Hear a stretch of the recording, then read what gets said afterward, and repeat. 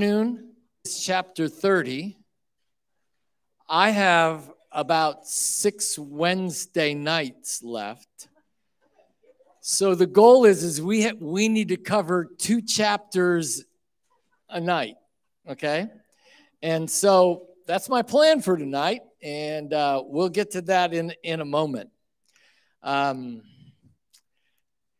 so let's talk about some of the announcements here, real quick. Um, I talked with Pastor Bill Baker uh, yesterday, and I think it was today that their house was going up for sale. So we want to keep uh, Pastor Bill and his family in prayer that uh, everything uh, works and goes well there. Join me on Thursday nights as we continue to pray um, for uh, uh, Pastor Bill and his family and that transition as well as other needs uh, in our church and around the world. I hope that you've um, engaged or been a part of the Pray for America campaign for 30 days. The flyers are on your on your table. Take one home with you that's got the dates and all that, especially, and the things to be praying for. Um, today, we're praying for leaders and those in authority uh, that they'll know Christ and make decisions based on the Lord's leading. Many of you are aware that uh, Steve Martinez, you may know Steve by his mom, uh, Dora Montez, who is Joe and Dora are usually at the lobby door helping us out as greeters. Uh, their son, uh, Steve, suddenly passed away a couple of weeks ago. Uh, so the funeral is this Saturday and it's at 11 o'clock. But if you'd like to provide some food for the meal that will be happening after the service, uh, Saturday starting at 9 a.m., somebody will be here to receive the food. And if you need more information, you can contact Marianne. If you don't have her number, uh, see me afterwards. Um, and uh, just keep you up to date. Uh, Wednesday night, the kids are in Bible basics, the books of the Bible. They've also been practicing. They have a song that they're going to be sharing and some stuff they're sharing this coming Sunday because, as everybody knows, this coming Sunday is what? Father's Day. And so um, I hope that if your father is still around, that you'll have an opportunity to express your love and your thanks to him. And um, so we'll be celebrating dads this Sunday. We've got a special gift for every dad that will be with us. And then Sunday, Sunday school, um, the Sunday school lesson for the kids is Jesus forgives, uh, Joseph forgives his brothers. So, anyway, uh, that's some of that stuff. You can check out more of the announcements. Check out our Facebook page for, for more information. If you're online, you can check it out there as well. Um, if you would, let's go to Exodus chapter 30. Exodus chapter 30. While you're turning there, um, let's pray together. Father, we're thankful, we are grateful, we are blessed, oh God, by all that you have done for us. And uh, we are so, so thankful for your word that we can study, that we don't have to guess, oh God, that we can know who you are and what you're like. And uh, Lord, uh, have direction for our lives. Thank you, thank you, thank you for the Word of God. And I pray, Lord, tonight that you would quicken me and that you would quicken this Word to each one of our hearts. Lord, help me to rightly uh, teach the Word. And Lord, may each of us glean what we need from the Word of God tonight in Jesus' name. Amen. We're in Exodus chapter 30. The slide up here shows you um, five different topics that are in Exodus chapter 30. We're going to go and look at each one of them, but the five things in this this 30th chapter are is there is the um, instructions and directions about the incense altar. Now, there are other altars that we've already looked at, right? There's um, the the uh, burnt offering um, altar. But uh, this is an incense altar and it's different from the others. Then there's also discussion about money for the tabernacle. Then there's uh, a little bit of direction and discussion on the making of the wash basin. And then um, anointing oil that was used in worship is also spoken of in the 30th chapter. And then finally, there is also incense, and the incense is burnt obviously on the incense altar. All right, well, let's take a look at this. The first 10 verses are really all about the altar of incense. And um, the altar of incense, these 10 verses can be divided into about three different sections. Verses 1 through 5 talk about the instructions for the construction of this altar of incense. And then verse 6 tells them where to place the altar of incense in the tabernacle. And then verses 7 through 10 tell about the proper usage of this altar of incense. I'd like to show you an artist uh, rendition, an artist drawing. Uh, this is what the, the artist got from the directions that are there. I think that there's some literary license that's going on there. We don't we know that there's a crown around the top of it. We know that there are horns that are on it, according to the scriptures we're going to read in a minute. We also know that there were um, places for the staves, some rings for the poles to go through for the carrying of it.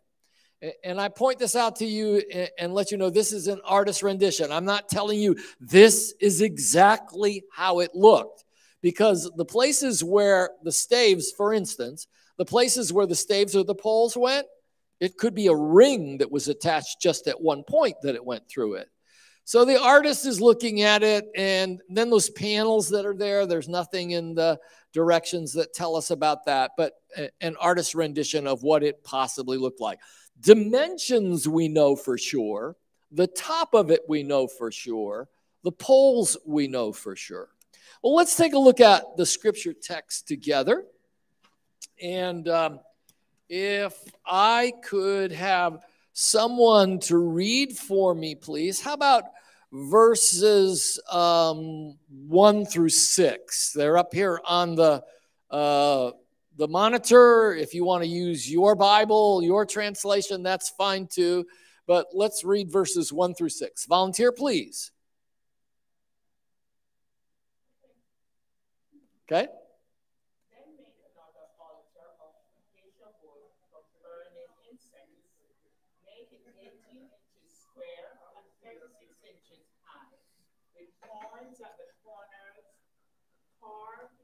same piece of wood as the altar itself.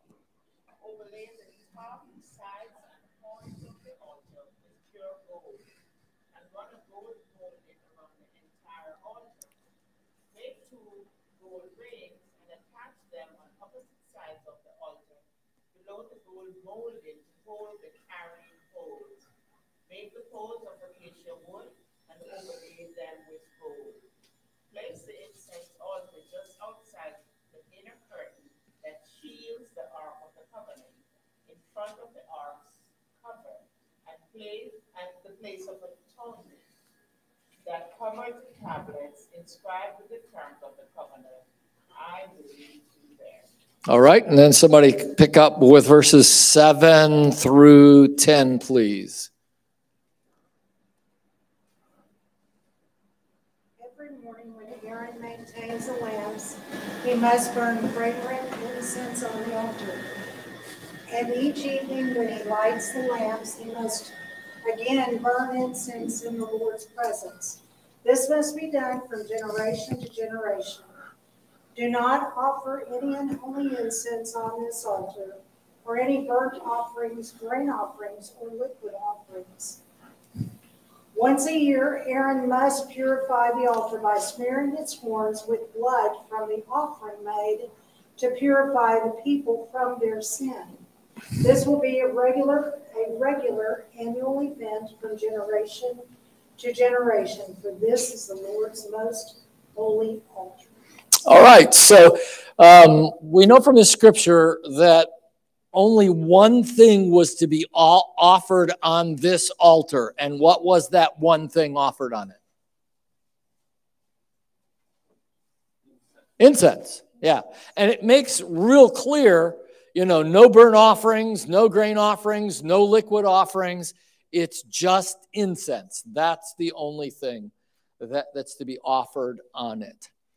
Um, we'll get to this a little bit more too. Uh, the incense is very, very unique and very special. Um, its uh, components were clearly detailed in the scripture and um, there to compose it and to make this fragrant, fragrant incense. So somebody pointed out, one of the commentators, that what kind is kind of odd is that other furniture were described and talked about in the holy place before this, chapters before this, right? We have the Ark of the Covenant before this. We have the uh, the lampstand that's there. What else is in that room? The table, table of showbread. All that furniture is talked about, and then this is left out when it's talking about everything that's there. And so there's some head scratching that goes on there. Why wasn't it mentioned? Um, you know, others talked about, well, there wasn't any need of it uh, until after the ordination of the priest to offer the incense. But um, anyway, it, it's kind of somewhat of a mystery why it's mentioned later on. Um, and um, this altar of incense is often looked at and thought that it symbolizes prayer. Um, well, I did that backwards, didn't I? Give me another one there, if you would, please. Another one yet. There it is. There it is. Okay. You know what I did? I copied an old slide that has those bad directions in it. Uh, it most likely symbolizes prayer. Where's this altar of incense? Where is it stationed at? Do you know its placement? Elka?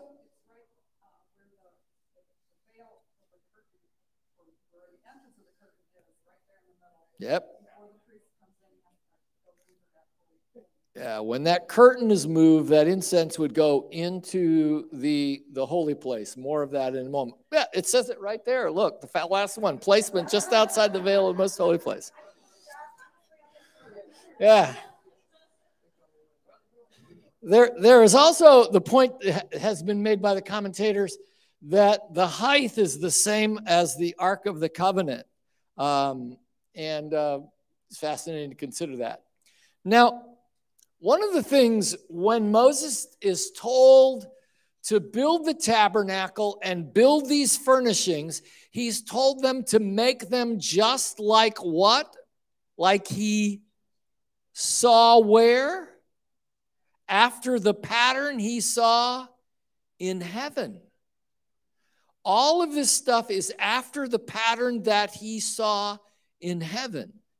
And um, that's repeated many, many times. Now, I'm, I'm driving home at that because as we look at incense throughout the Word of God, and I'm not going to look at all the scriptures that are there, but as we look at incense and prayer throughout the Word of God, there's many times where it is clearly symbolic. Somebody go to Psalms 141, verse 2. Psalms 141, verse 2.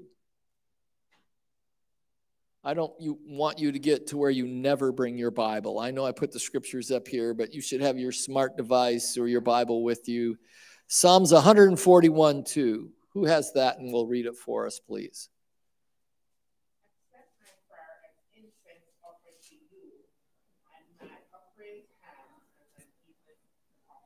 Okay, so here's here's the psalmist saying, you know, my prayer is like incense coming up to you. So um, incense and prayer, uh, very much looked at as being the same.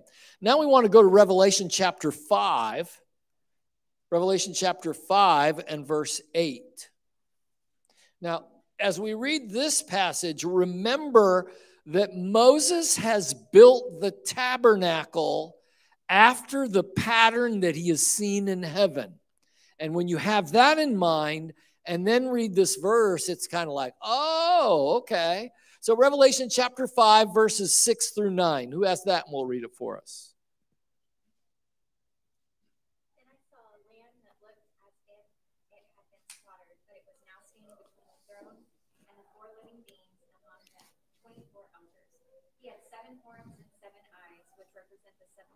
Spirit of God that is sent out into every part of the earth. He stepped forward and took the scroll from the right hand of the one sitting on the throne.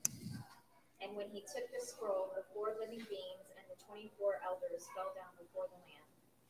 Each one had a harp, and they held gold bowls filled with incense, which are the prayers of God's people. Oh, look at that. Each one had a harp, and they were holding gold bowls full of incense which are the prayers of the people or of the saints.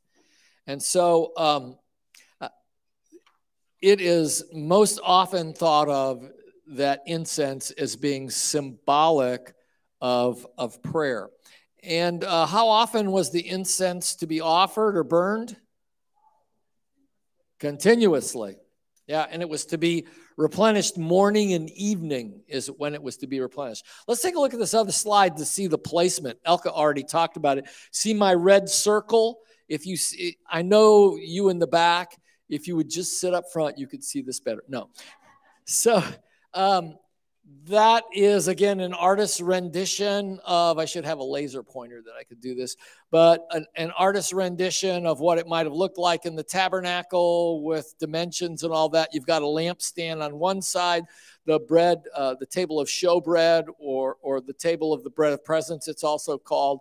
And then right outside the the veil where the ark of the covenant is in the center there is the altar of incense. That's the placement of this according to the directions that Moses was given.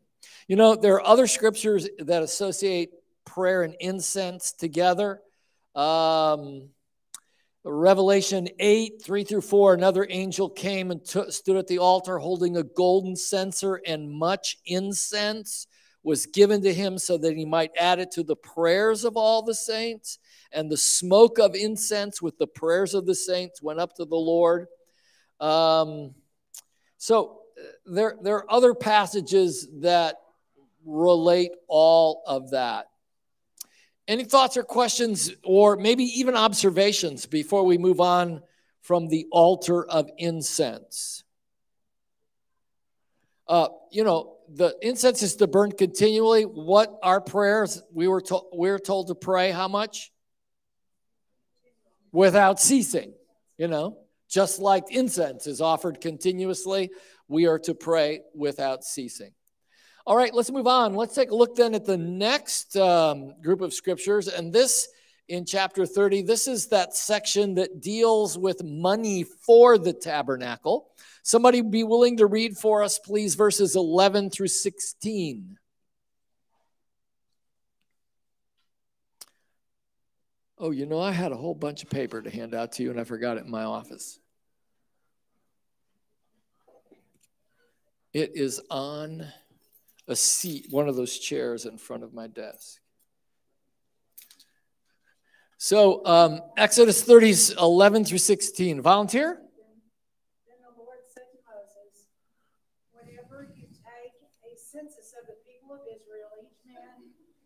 Counted must pay a ransom for himself to the Lord. Then no plague will strike the people as you count them. Each person who is counted must give a small piece of silver as a sacred offering to the Lord. This payment is half a shekel based on the sanctuary's shekel, which equals 20 gerahs. All who have reach their 20th birthday must give this sacred offering to the Lord. When, it, when this offering is given to the Lord to purify your lives, making you right with Him, the rich must not give more than a, saint, than a specified amount, and the poor must not give less. Re- Receive this ransom money from the Israelites and use it for the care of of the tabernacle. It will bring the Israelites to the Lord's attention, and it will purify your lives. Okay.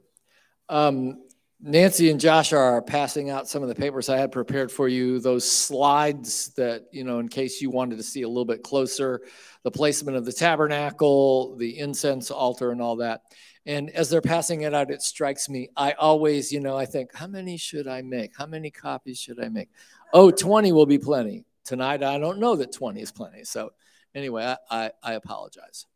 All right. So, here, um, this this is a fast to me this is a fascinating passage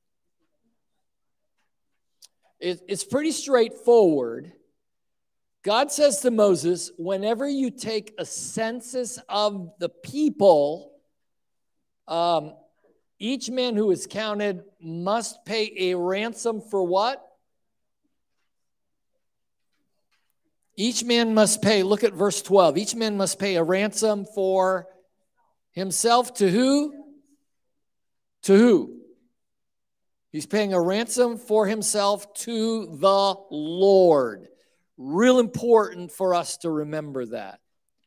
Was there a time, and we won't answer it just yet? I mean, we won't go into the details. Was there a time that a census was taken and it made God very angry? What's that? Yeah, Sandy. Who was it? David. And God was angry because the census was taken. As a matter of fact, if I remember correctly, Joab was begging David not to take the census. He said, My Lord, don't do this. Perfect count. Okay, good.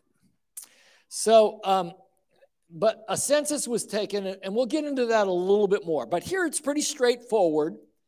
Um, he's told that everybody that is how old? 20 or older is to be a part of this census, to be counted, and to pay this ransom. So um, each uh, male member of Israel, uh, it was this, I got this all, it's messed up again. So just put them all up there. Okay. So Israelites 20 years and older to pay a ransom to uh, and that ransom helped them to what? Avoid death. What happened when David did the census? What happened? People died. There was a plague that took place. Now, the scripture text we just looked at said the ransom was the same for all, whether they were rich or poor, it was to be the same. You know, the half shekel, a gerah, or, or, or whatever that, that uh, happens to be. And then also, we see that the ransom money was for the support of the tabernacle. It was to use for the care. It was it was the maintenance fund, if you would please. You know, it was the maintenance fund to take care of the tabernacle. Because how many of you know anything that you have needs maintenance, right? Let me tell on myself real quick. When I moved to Texas in 2004, I thought a sprinkler system in the yard. It's PVC. It's plastic. It's buried in the ground. It will never need any maintenance.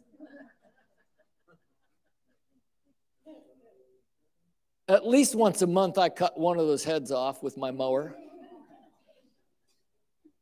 the grass sticks in them and the springs don't go pull back down.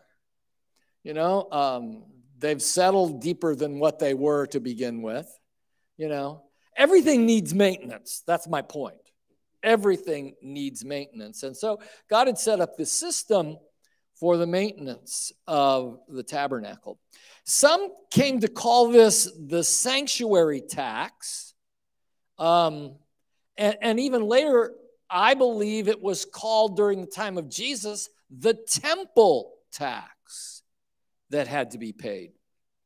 And so Um, it provided the upkeep um, for the maintenance of the tabernacle and later the, the temple later on.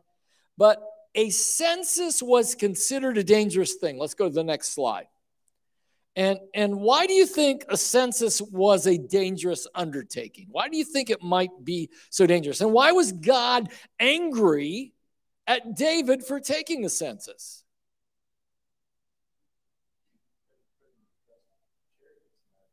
Okay? You know, he, he was, uh, wasn't trusting God. Any other thoughts?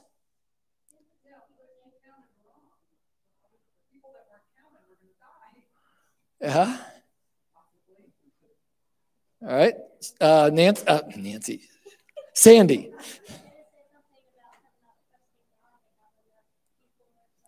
Yeah, that was Joab.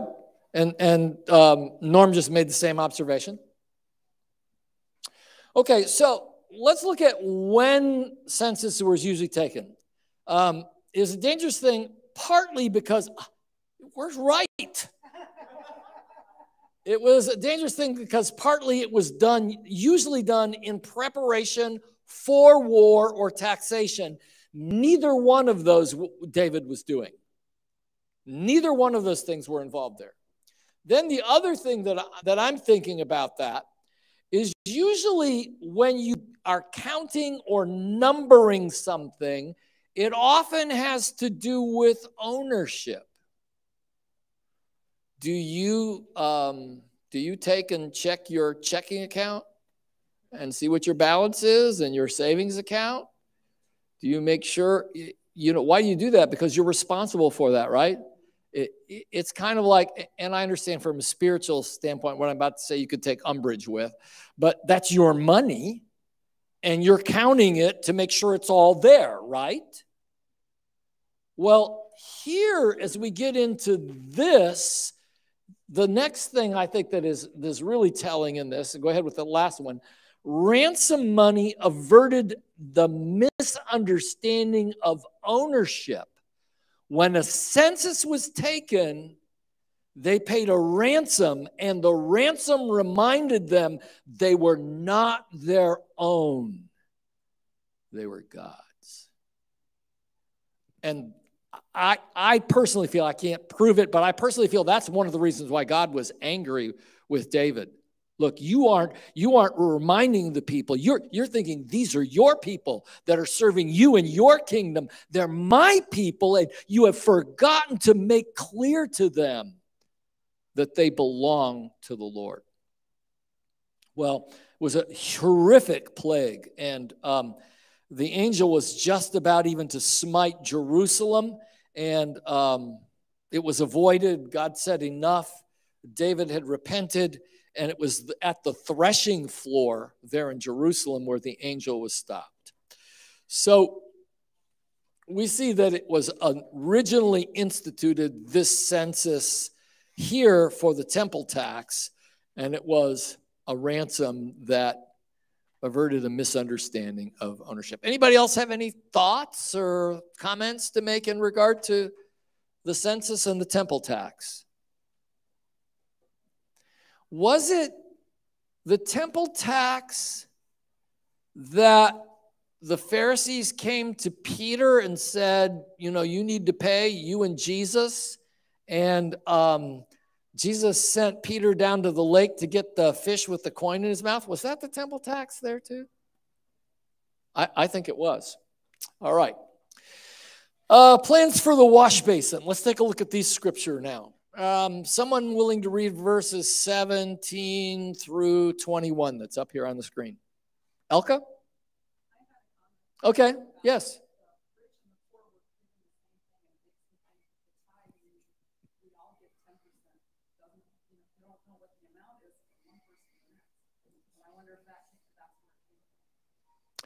Um, it's certainly the same principle. I don't think that's where it came from because Abraham gave a tithe long before this. Abraham gave a tithe till Melchizedek, the prince of Salem, after rescuing his, his nephew Lot, and he had all of these spoils. and he gave to Abraham. That's the first time the tithe is mentioned, and it predates the law in Abraham giving that. Yes, Rob.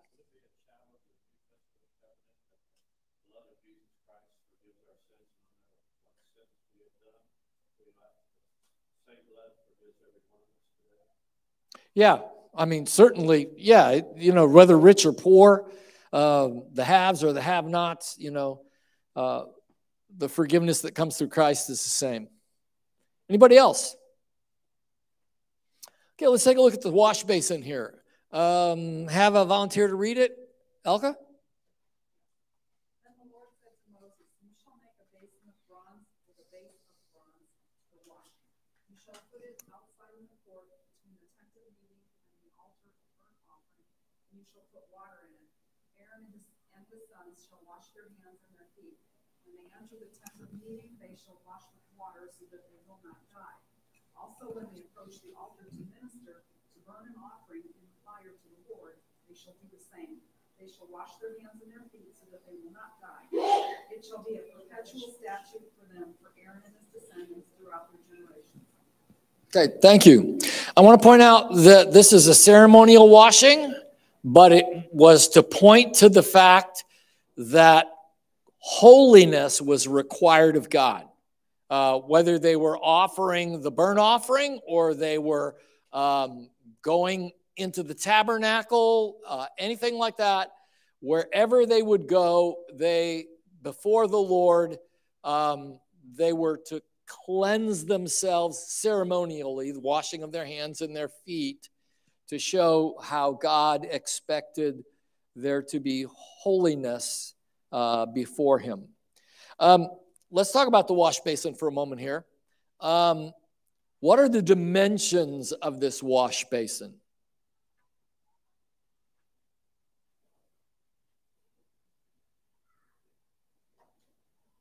There are none given. Yeah, the pictures that make it look really big, except the one I have here and I didn't put up there. Um, Solomon's was huge. The wash basin that Solomon built for the temple, what was it called? It was called the sea. That's how big it was. But he also had 30 carts of smaller basins, water carts as well. Um, we don't have here in Exodus any dimensions given. Um, the only thing that is told to us, and let's see if I have these right, it was made from bronze mirrors. Okay? It was made from bronze. Where did the bronze mirrors come from?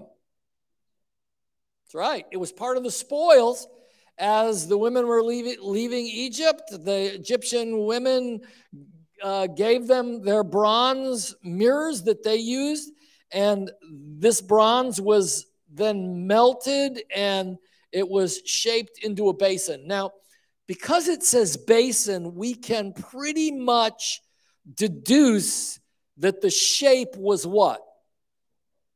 Oval or round. Yeah, you know. Um, but as far as the size and that, we we don't know. Um, it um, go ahead.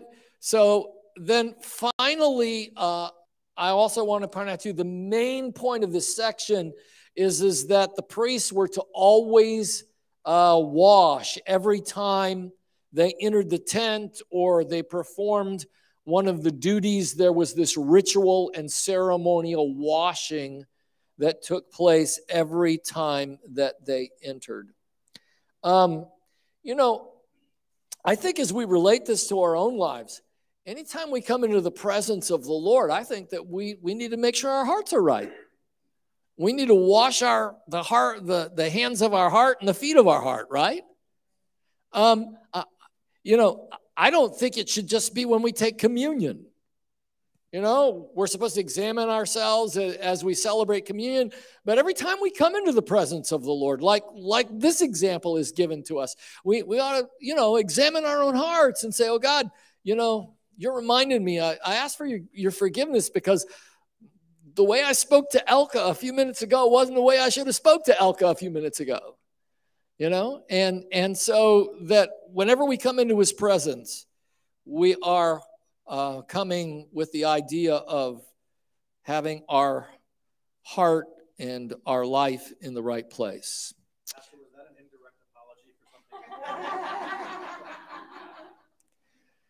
could could that could that be good for all this year? Nah it won't work. It won't work. It won't work. I know it won't work. Okay. So moving on let's look at the anointing oil. So let's look at the anointing oil. Exodus chapter 30 verses 22 through 28 someone read now now here we have some specific amounts and directions whereas it, when we were looking at the the wash basin or the laver not a whole lot of description. Someone read for us verses 22 through 28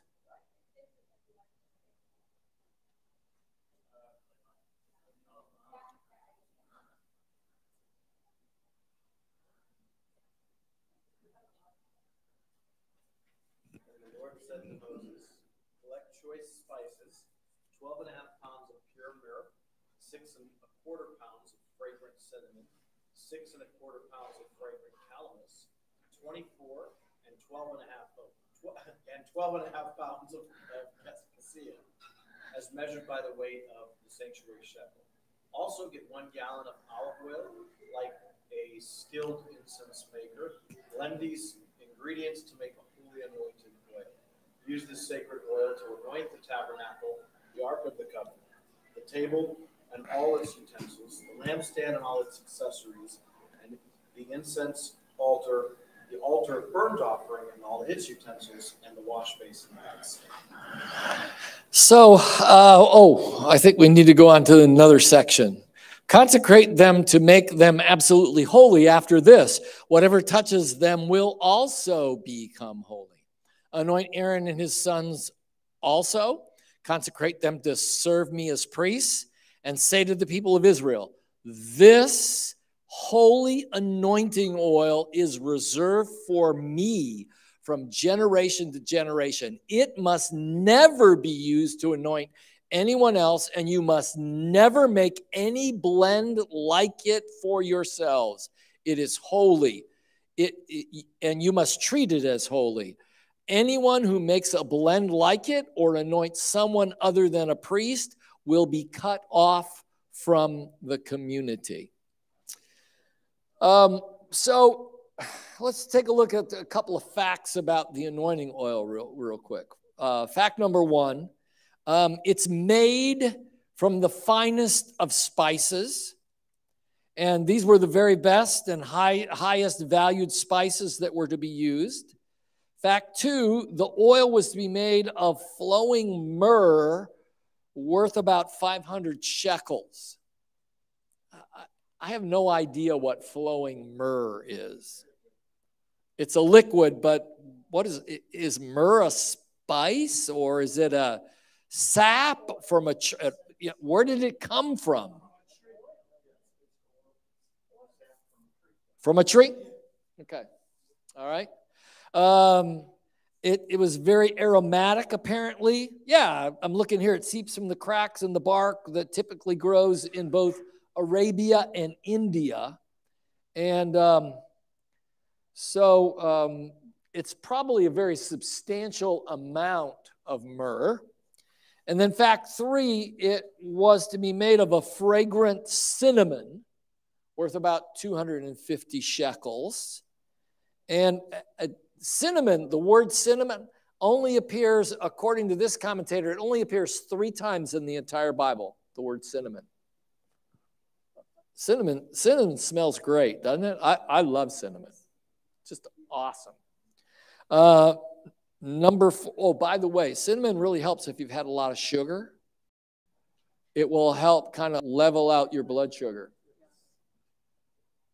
So some other people know that as well. So the next time you go to DQ and you have that peanut butter pus or parfait, make sure you go home and have some cinnamon, you know.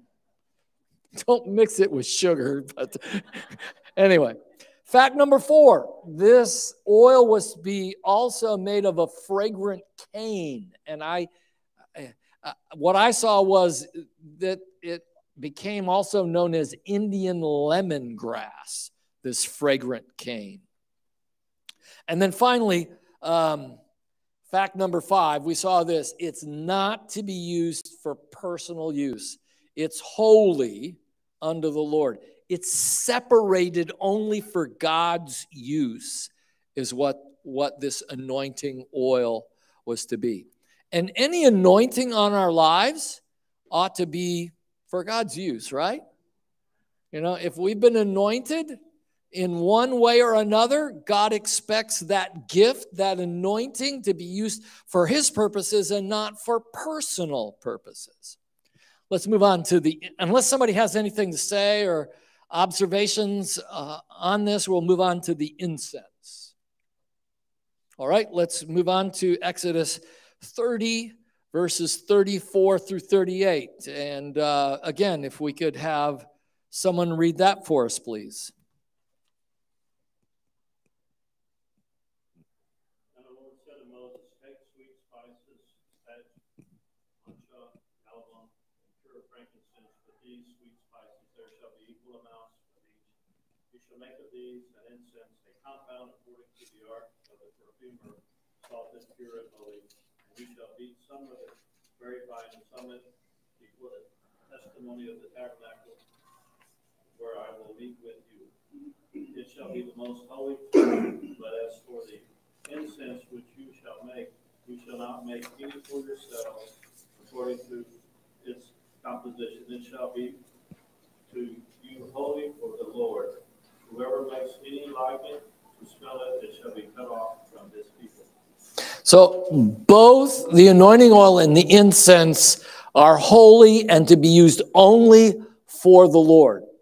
Um, this there's three times in these verses that this anointing oil is taught it's stressed that it's holy and then one point it's very holy and um, uh, again we can see that this is um, for god's purposes and, and no other purpose um, any thoughts observations in regard to the incense all right, let's move on to chapter 31.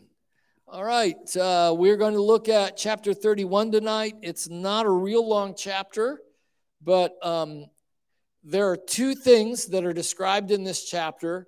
There are the craftsmen that are talked about in the making of, of everything about the tabernacle, two individuals specifically mentioned.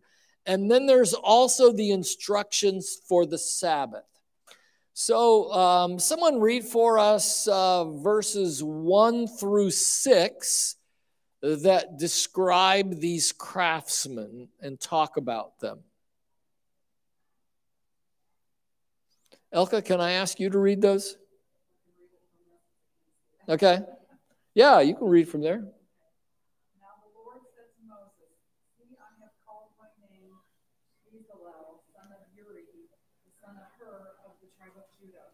I have filled him with the Spirit of God in wisdom and skill, in understanding and intelligence, in knowledge and in all kinds of craftsmanship, to make artistic designs for work in gold, silver, and in bronze, and in the cutting of stones for settings, and in the carving of wood, to work all kinds of craftsmanship.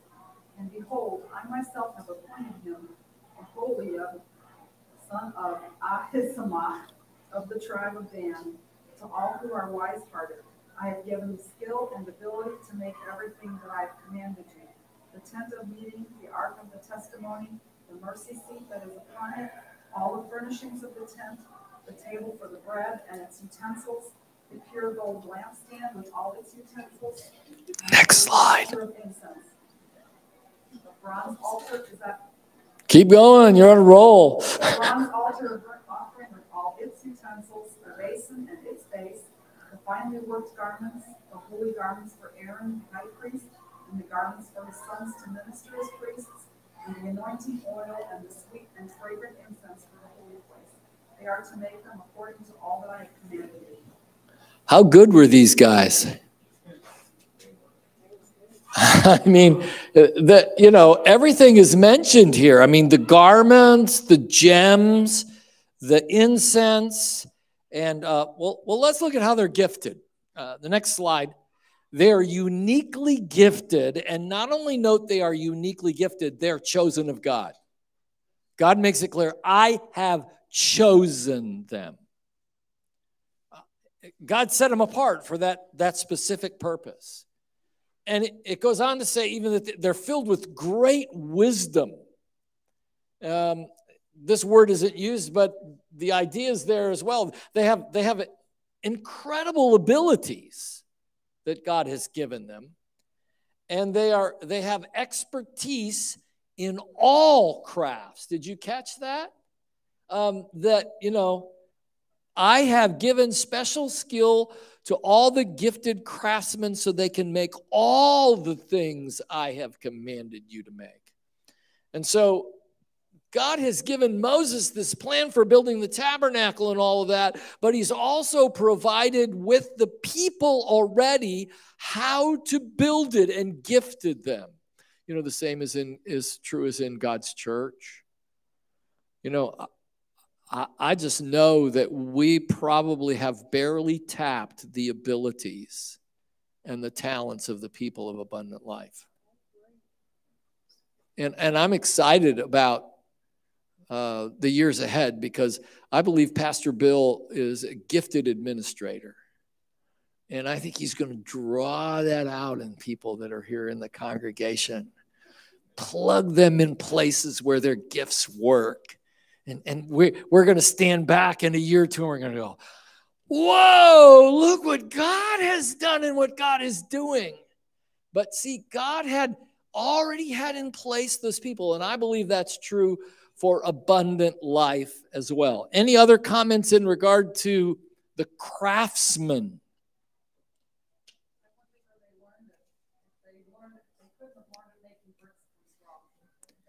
Well, yeah, I I think we know that the majority of certainly there's this gifting that God has given them, He's given these abilities. I tend to also think, though, that in Egypt, there might have been a recognition that, hey, this guy doesn't need to be a bricklayer or, or, or making bricks. He's got too much talent and understand. He needs to be a part of making our jewelry here because the Egyptians had jewelry, right? Oh, yes. You know, and so I think that the skills that God had given them were there, they were recognized, and, and some of that was developed and honed and polished, if you will, pun, polished, if you will, in Egypt in preparation, J- just like you and me. You know, there are things that you and I do. I hate this word secular versus church because it, it all is supposed to be sacred in our lives, all that we do. But work outside some of those same skills that, that we are paid to do come and translate into the church as well. Let me brag on Steve back there, Steve Vasquez. Come on, put your, put your hand up, Steve. So, so Steve comes and volunteers here at the church, and little did I know that he had been doing some janitorial duties at someplace else. And so he shows up here, and it's one or two days, and he starts doing stuff. He just sees it needs to be done. You know, he sees that, you know, this needs to be cleaned. And, and, and you know what I love about Steve? You know, he, he's, he, he sees that the bag, the garbage bag is half full. And he says, You know, instead of just taking that, I'm going to combine all those others until I have one bag and I'm not throwing away six. So, my point is this, and come on, give Steve a hand. I, I appreciate Steve. My point is this that, you know, there's there's these skills and things that we've learned outside the church that God has prepared us to, to bless his people with and his church with. And, and I think that that's so important for us to see and understand. And I think some of that may have happened with this, but it was obvious that these men were chosen and anointed with God, and their gifting came from God. Amen. All right, let's take a look at the instructions for the Sabbath, the last part of this chapter. Someone read for us, please, verses 12 through 15. The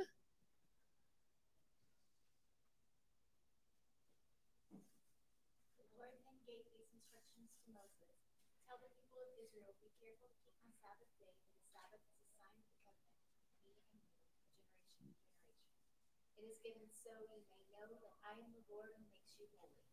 You must keep the Sabbath day, for it is a holy day. Anyone who desecrates it must be put to death.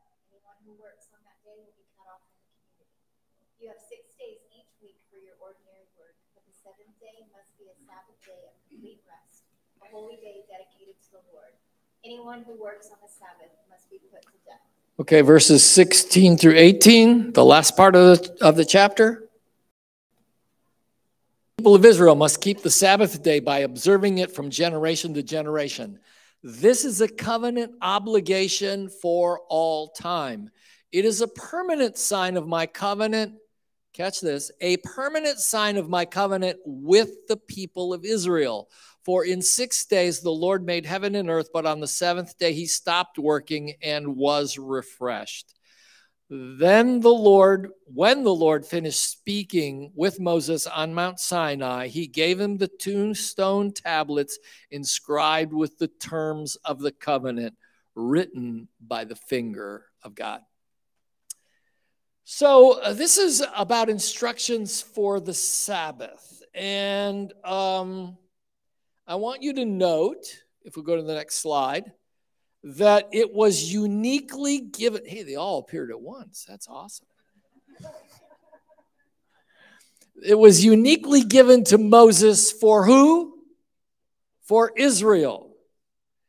How many of you, um, you know, you don't turn on a light switch and you don't do any kind of work at all on a Sabbath? No, I mean, my, my point to us is this it was a sign of a covenant with Israel, the Sabbath. And this scripture makes it very clear.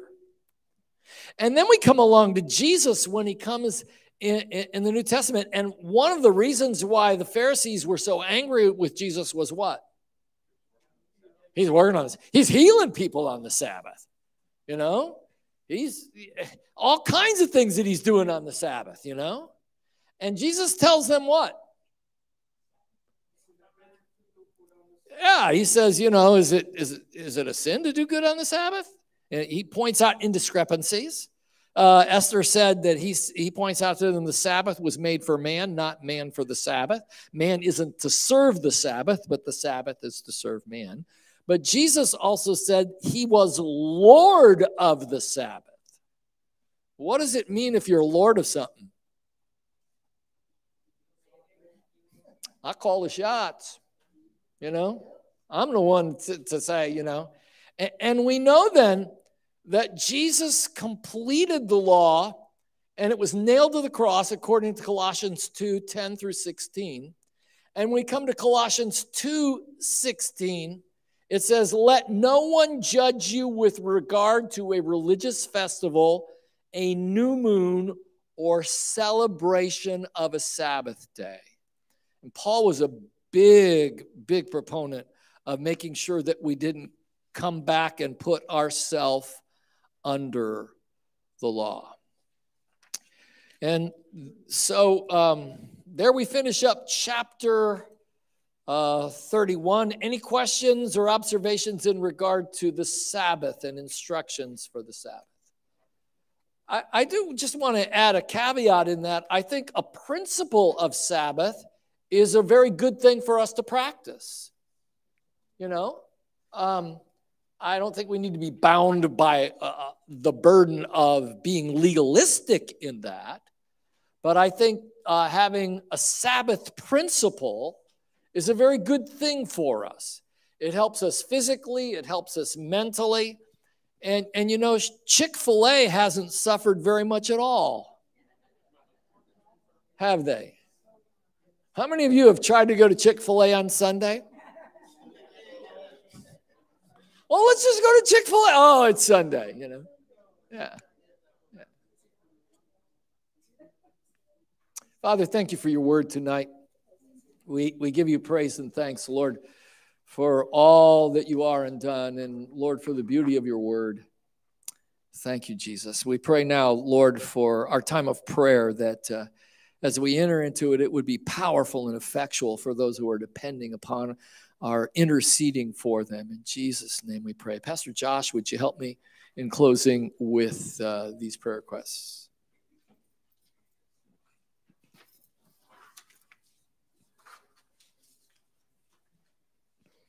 Sir.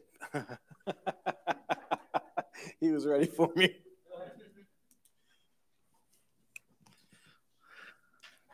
You know, the, the concept of the Sabbath is something that's it's kind of hotly debated in some churches, right? So what day is the Sabbath? I heard I heard I heard a mix I heard a mix answers.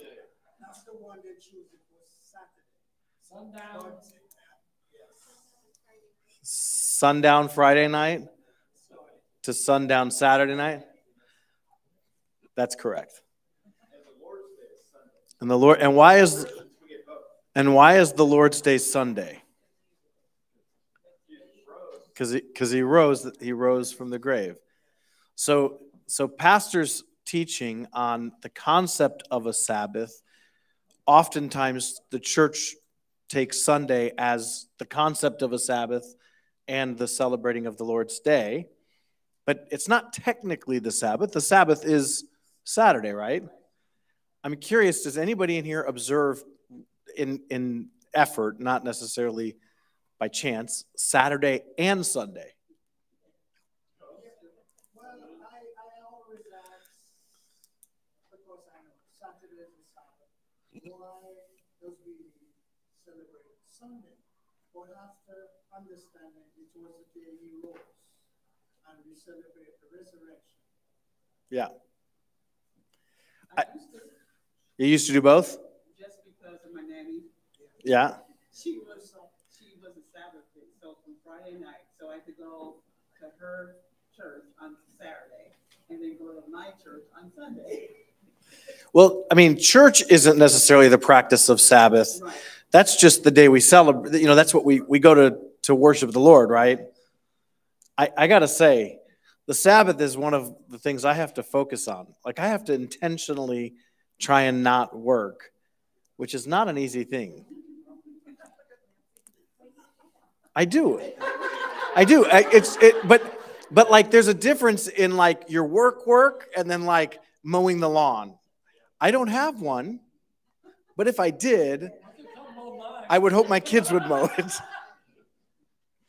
anyway, we could probably talk all night about because this is something that people talk about all. You know, I, I like that we can chat about it and it not be something that we get worked up over because we're probably going to have some disagreements on things like what time of day you should mow or if which child you should force to mow, what age you should start forcing them, or whether you should mow at all, right?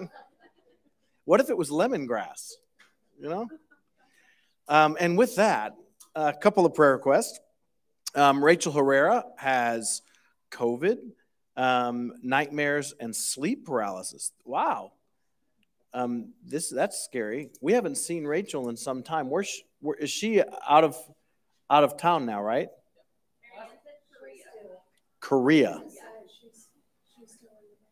Yeah. Well, that's that's scary. Um, and then, of course, we're going to continue praying for uh, the. Really, man, time flies. I mean, it's, it's several months. It's not, it's not long. But she's dealing with with paralysis and or sleep paralysis, and that's scary. Um, and then, of course, we continue to pray for Joe and Dora. Um, if you're able to be here this uh, Saturday, the, the the funerals at what time, Pastor? Eleven o'clock. I'm sure that it would it would mean be meaningful for them.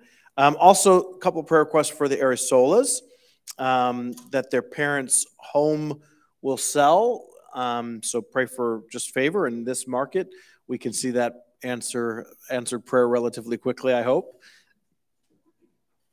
And then uh, Larry In- Ingram um, which is one of the Friends of the Airsolas uh, hip replacement and therapy. And then, of course, we want to continue praying for Pastor uh, Pastor Baker, uh, Bill and Jenny.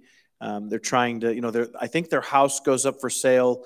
It, it might have gone up today, um, and then uh, they, you know, they got to get another one. So I, I can just imagine it's kind of a hectic time for them. They, um, I, I think, and you got to know, I volunteered you. I, I didn't say voluntold, I volunteered. So he calls uh, and he, he mentioned he was hesitant to call me. He's always afraid to call me because he's worried that you know he's inconveniencing. It's like, Pastor, don't don't don't look at it like that. Um, but they're going to be. He's going to be. I think traveling to town to look at houses again. Uh, I think it's like a, a fly in, fly out, same day, either Friday or Saturday or something like that. And he asked me. He was calling to ask, would there be any way, I, you know, I could pick him up from the airport. Uh, you know, he could drive around with the realtor, no problem. He was asking something like that, and I'm like, like the fact that you hesitated, we, we haven't communicated clearly enough. We're here to serve you. And I told him, I said, Pastor Bill, I can assure you there is an entire congregation just looking for opportunity to serve you. So if you're coming to town, whether Nancy or I or, or somebody that's on staff can pick you up and drop you off at the airport or not, I guarantee there's somebody in the church that would be more than happy um, to, to pick you up, drop you off. And I wouldn't even be surprised if somebody had a vehicle that you could borrow. I mean, I just, I know that there's enough people in the congregation. So we just want to pray for them as they go through this transition time. There's a lot of moving parts and continue to just pray for it to be a smooth transition for them. With that, by the way, I also want to pray for uh, this weekend. So on Sunday, we all know it's Father's Day. We're going to be having, you know, some of those uh, competition things again. You know, fathers kind of competing. So you might want to start doing your push ups now. It's not going to do you a lot of good between now and Sunday, but you should probably try. Start start doing those push ups now. Um, so just just pray because you know I don't do well with with losing competitions, and and Pastor Sam doesn't either. And so just pray for us. That, that's all I'll say. Other prayer requests, maybe of a more serious nature. Yeah.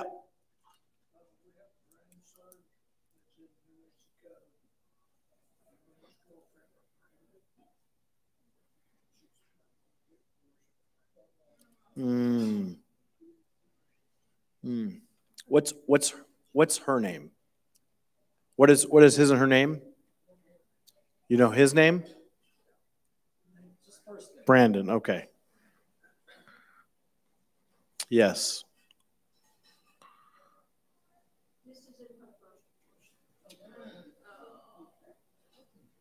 Are they are they married or okay?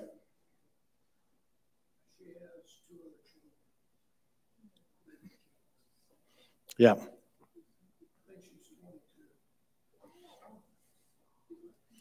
We'll pray for him. We like praise reports. My nephew, who had been heart surgery, he's doing very well. Michael, he's, uh, he, he, he works from home sometimes, and the doctor has given him permission to go back to work. Excellent. Yes, yes. And, um, my grandson, the doctor, I took him, he, I took him to the doctor, I went, well, I didn't, I, I went to the doctor with him on Monday, two different doctors. And when we went to the, um, the doctor looked at his nose, his broken nose, he said because he hit it this way, they don't have to do anything, you can see that it's broken, but they don't have to, if, if it was hit this way, then you would have to straighten it out. It's gonna be okay. That's a praise report. Two praise reports. What else we got? Yep. This is not really a praise report, I thought it was cool. I was watering a friend's flower sheds, we were watering ten million. And my little granddaughter that's five, she has an angel, a statue angel out in front. And my little granddaughter and I were watering the flowers and everything, and she said, Anna, where'd the angel go? I said, you mean the statue? She said, no, there was an angel standing right here, oh, my. Hmm.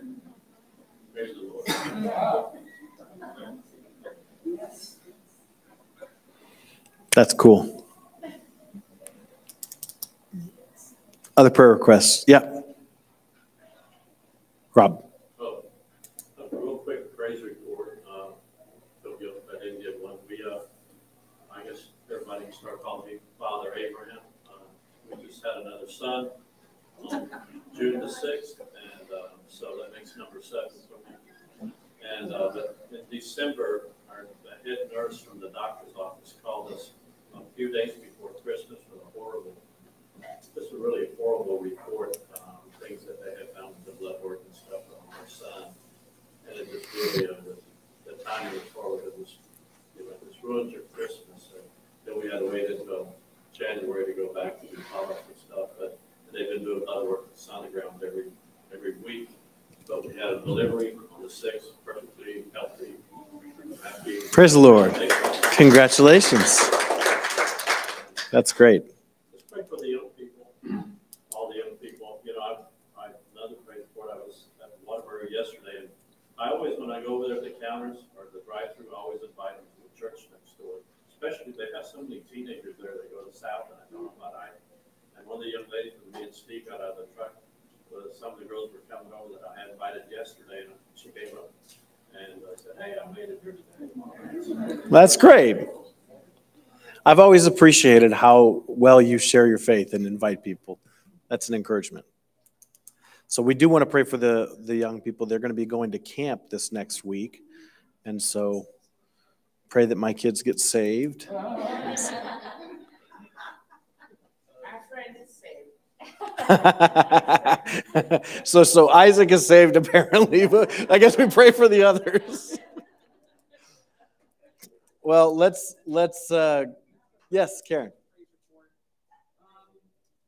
Almost two years ago, my mom was diagnosed with stage four cancer, and she is still doing, we have her up to, you know, good days and bad, but thank God that the final drug, the chemo didn't work, so now they're trying her new drug, and the tumors are not growing, it's not spreading, and she was able to have eye surgery today. Praise So, I God all.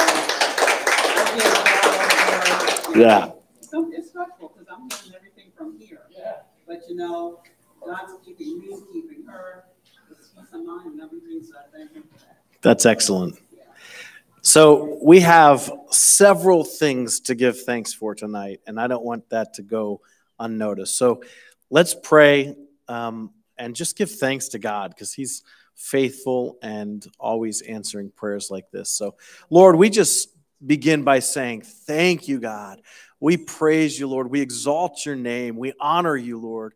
Lord, we, we thank you that you are so good, that you're so faithful, Lord, in season, out of season, Lord, that you're the same God yesterday, today, and forever, and that we see that, that goodness, Lord, that we can rest in, that we can put our faith in, that we can be encouraged by, that we, we hear these reports, Lord, of your goodness, and it encourages us as we go through different things in our own lives, God.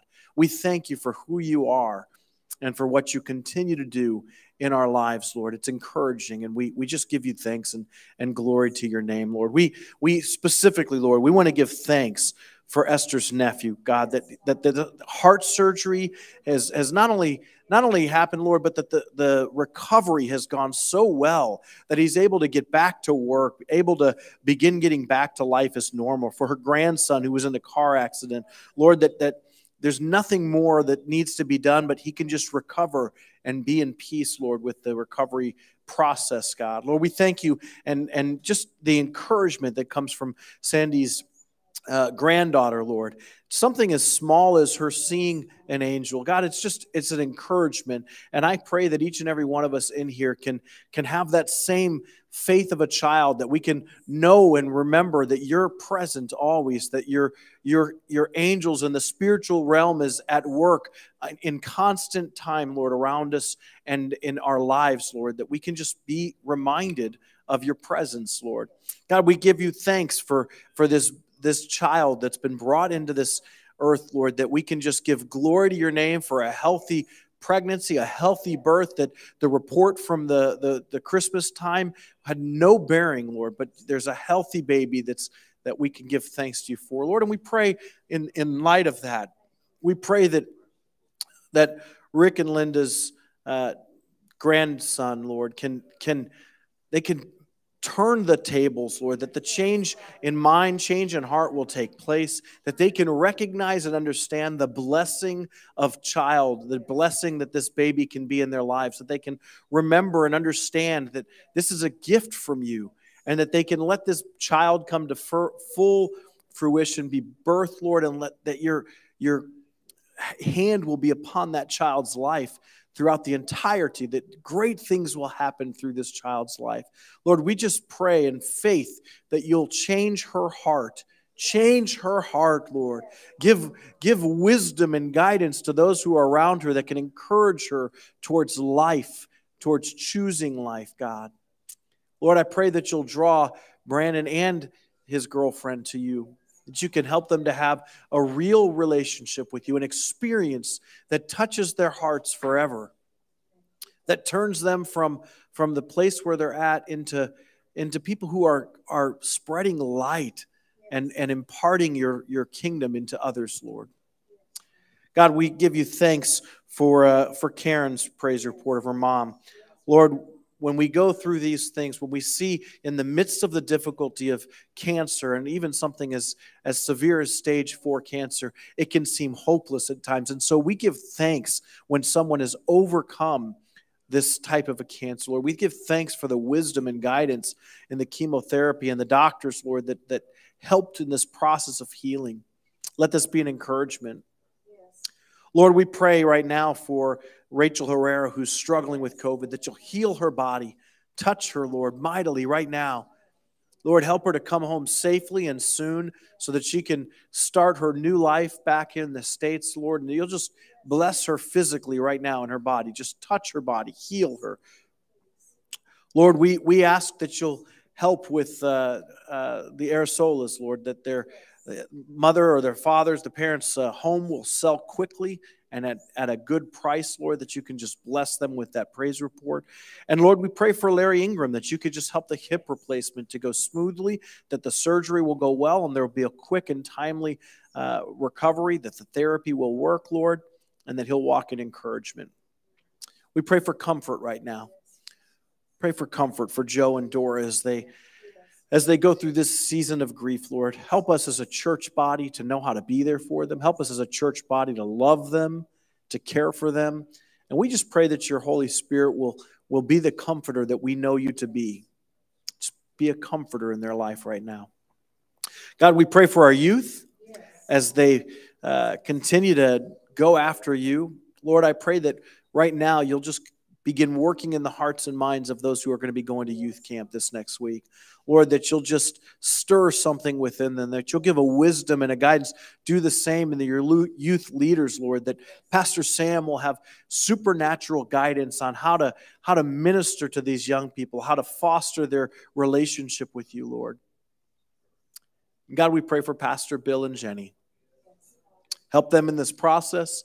Give them wisdom, give them guidance, give them favor, help their home to sell quickly at top dollar, and help them to find a, a good home that's the right home for them here in the, the Metroplex. Guide and direct them, Lord.